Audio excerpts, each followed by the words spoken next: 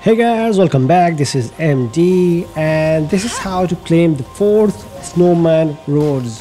As you know, we have eight tracker uh, training challenges in this game and each of the training trackers they have eight uh, crystals.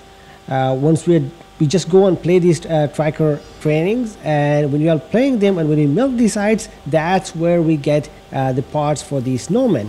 You don't get them for completing it, but you will get them once you melt these and you can just later on when, when they're complete you can just go on claim the extra rewards which are like primogems and mora. But yeah the main thing is here where we claim them. And there are a total of eight.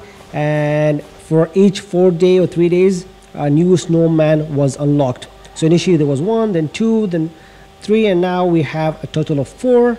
And we need to dress them up to be able uh, to claim the rewards. So once you dress up the first one you'll be able to claim the rewards for the first then the second now the third uh, or the fourth which is the last one. As you can see I have for me uh, on, in this game here uh, two of them are already done. Now I'm just gonna do the third one. Uh, but notice something here.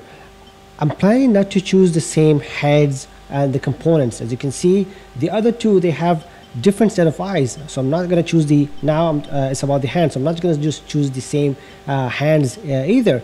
So they don't have this hat. I'm just gonna give them that hat. This one no. So I'm just gonna choose either from these two here.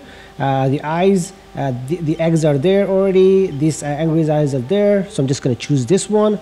Now this carrot is there. This brown nose you can see this is a black nose. That brown nose is already uh, on my uh, first one. So I'm not gonna choose this brown one. I'm just gonna choose the black one yes so I'm just gonna save them.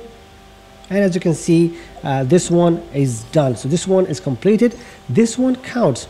So if it doesn't count for you that means you're using the same uh, materials for all of your uh, snowmen. So basically maybe using the same hat maybe you're using the same set of eyes.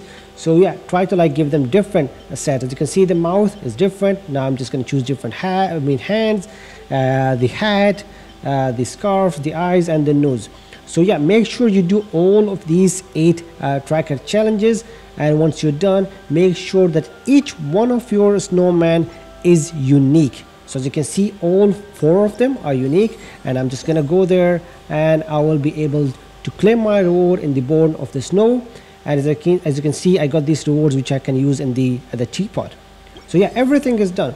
Everything all of them all look different all look unique. I'm not using the same set of items uh, repeatedly you know what I mean?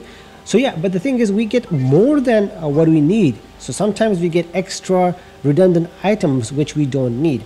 And if you are missing something if, if like for example a set of eyes that you need to make your um, what's called the snowman different you can actually go and press uh, a square as you can see we have four but if you press a square we can go to the uh, gift giving and taking. So if I press a square again I can create a wish list and these here these two uh, friends of mine they are requesting items which are in their wish list. So you can create your own wish list and and, and just choose the items that you want. Here I'm just uh, trying to help my uh, friend here.